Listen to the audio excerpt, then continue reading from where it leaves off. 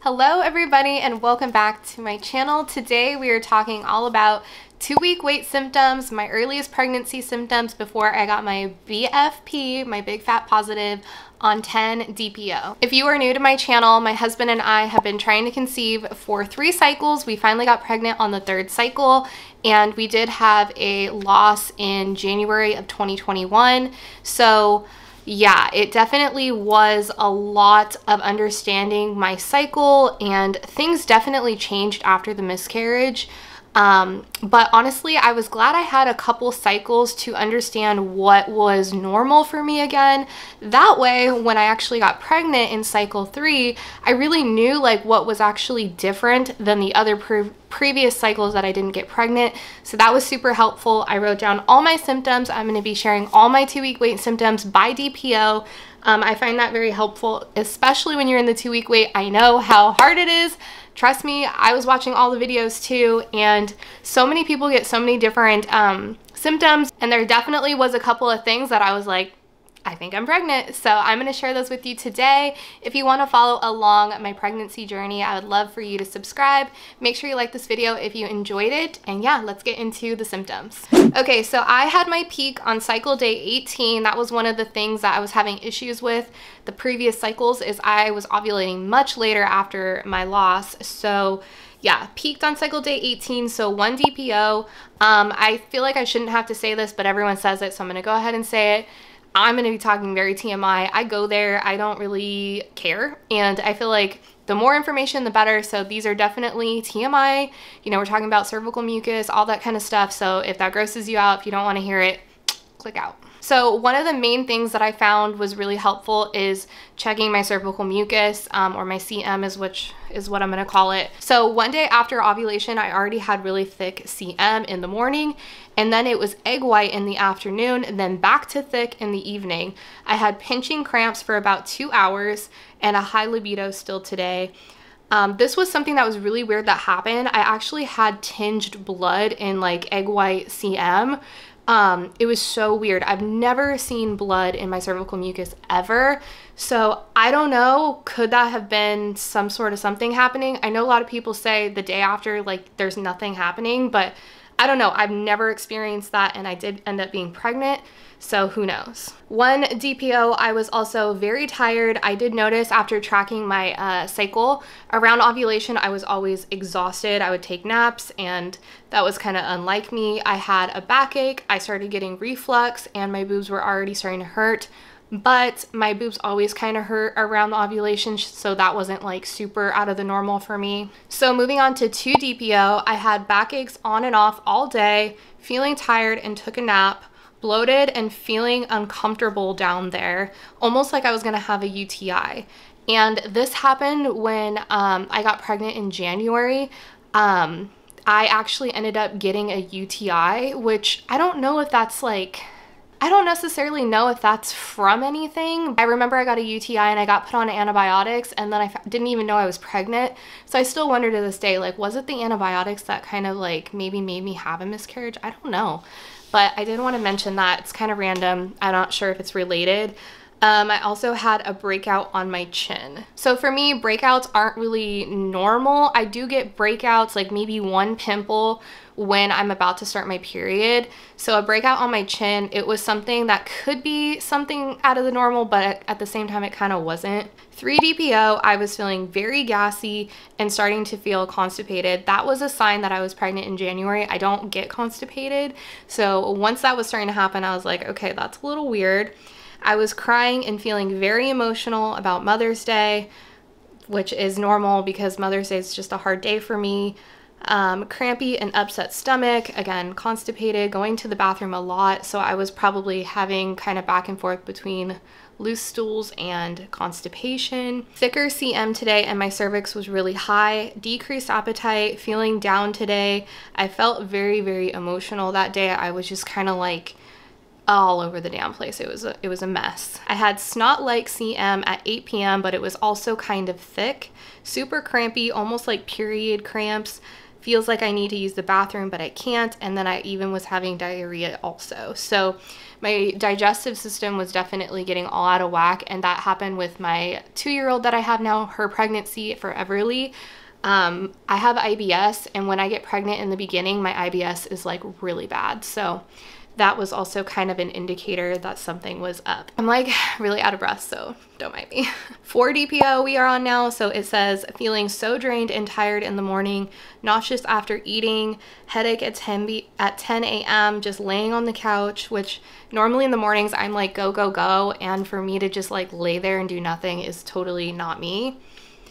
I had slight reflux and feeling out of breath even when laying down feeling pretty rough today, I wrote. Going to the bathroom, like peeing a lot and lots of burping. That was another thing with Everly's pregnancy. I burped all the time. It was just so gassy. Um, a backache, boobs are starting to hurt, just generally feeling ugh, I put. Feeling very hungry today and wanting random things, dry mouth constantly, more diarrhea, egg white CM around 7 p.m. this morning, and it was also kind of thin. And then I had a weird, vivid dream about a snake. So the vivid dream started at 4 DPO. I have really vivid dreams all the time. So at first I didn't really think much of it, but it was so weird because I had this very vivid dream about a snake like attacking me. And then I watched someone's two week wait video and they had a dream about a snake attacking them. And I was like, is this a sign from the universe? Like, this is so weird. So uh, now on 5-DPO, CM was thick and egg white CM when I woke up. This was one of the symptoms that I started thinking like, okay, maybe I'm pregnant because normally in my last two cycles, my CM was super watery. It was very watery in the two week wait, and this time it was thick, and I was also having egg white CM like throughout that two week wait, which was not normal in my other cycles when I did not get pregnant. Starting to feel really hot, which is unusual. This was another one that I'm still dealing with. Super hot, feeling like just uncomfortably hot. It was so weird. Very bloated and full feeling, but also feeling hungry, um, feeling tired again, a lot of head pressure and overall fatigue, drinking so much water, headaches at 7 p.m., um, creamy thick white CM at night, burping so much.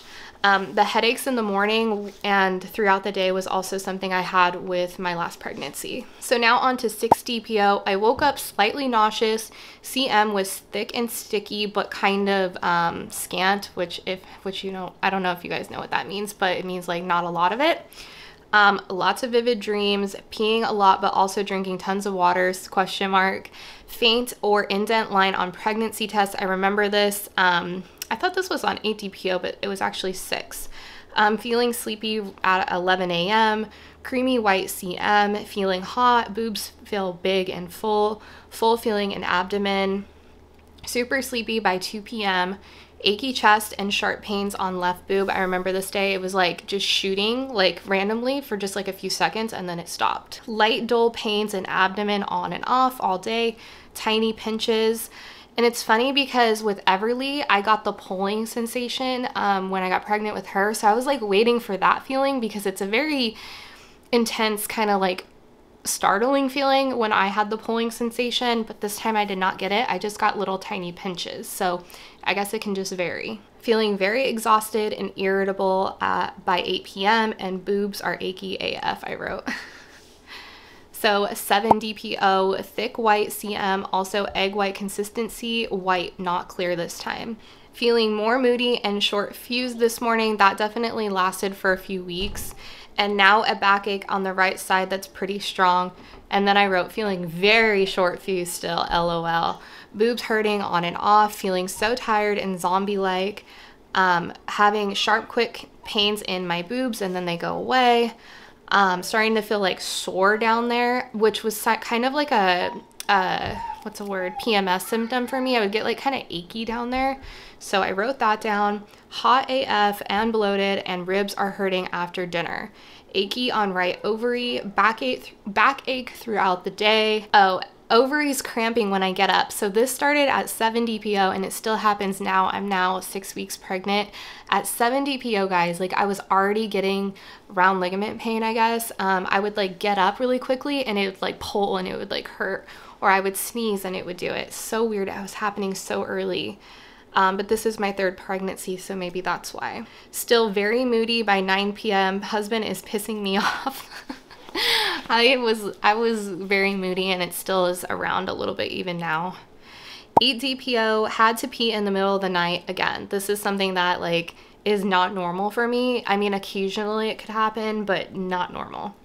Gums bleeding super easily. This happened with Everly, uh, Everly's pregnancy as well. CM is thick and gummy, but not super abundant, very wet. Feeling moody AF again today, angry and annoyed about nothing. Negative pregnancy test this day. This is probably when I started testing. Pulsing ache in right boob, abdomen when pain in abdomen when getting up, um, feeling exhausted and sleepy after 12 p.m., slight headache.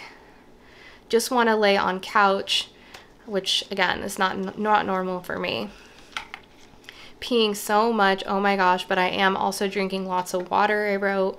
CM was white, sticky, and slightly egg white CM.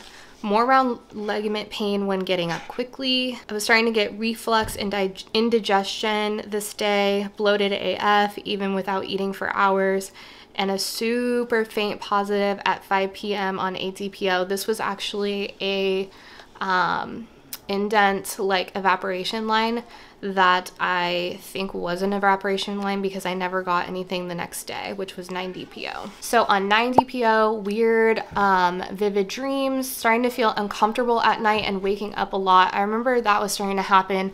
I just wasn't sleeping well, which was definitely out of the normal for me. Boobs sore once waking up. This is this has gradually gotten worse now that I'm farther along. In the morning, right when I wake up, my boobs are just like huge and they hurt. So that was happening at 9 DPO. Moderate back pain and headache, not feeling good making breakfast, achy, um, pain in right, right lower belly, feeling dizzy, like blood, low blood sugar. This was another thing that was like, okay, I think I might be pregnant um, because I wake up so early, like at 5 a.m. And by like 7, 8, I was like, I needed food or else I was gonna get like lightheaded and like dizzy. And normally I can go a lot longer without eating. My smell started getting stronger too. I kept feeling like I was smelling nasty smells, um, feeling much more hungry, and also starting to get anxiety while driving, which was just so weird. I remember when I was pregnant with both of my other kids, towards the end of my pregnancy, I would get anxiety when driving just because I was bigger, but now I'm getting it like right away, which is definitely weird. Um, this is still 9 DPO, upper back pain, pain in uterus on and off, took a nap, moderate cramps and chest aches like achy ribs with lower back pain. It's definitely gas pains and it hurts a lot. I remember having like really, really bad gas pains in the two week wait. Like it was, it was bad. Super thirsty and headache as well. So 10 DPO, which was Mother's Day, this was the day that I got a positive pregnancy test. Woke up with a dry mouth, very thirsty.